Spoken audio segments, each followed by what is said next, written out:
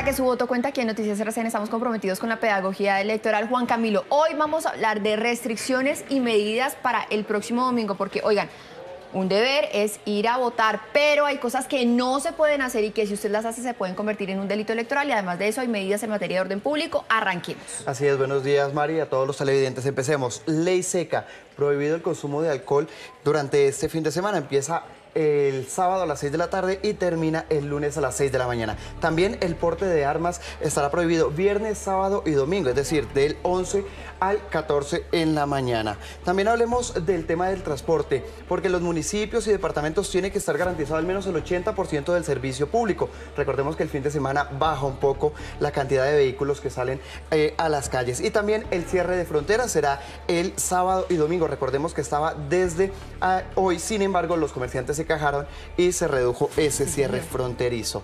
Restricción de propaganda política. Muy importante. El domingo no puede haber publicidad, no puede haber personas con camiseta, no le pueden llegar a usted gorras. nada, no pueden llegarle a entregar un Si usted llega a ver eso o usted hace eso, está cometiendo un delito electoral y puede ser incluso denunciado. Así es. Y prohibiciones en el puesto de votación. Usted no puede tener celulares, cámaras ni ningún otro dispositivo, porque eso también podría ser parte de estos delitos. Ahí lo que se busca es que esté la privacidad del voto.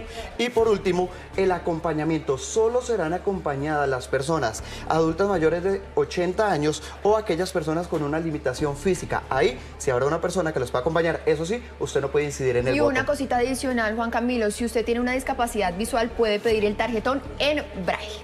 Para que su voto cuente pedagogía electoral, Sigan ustedes con más noticias.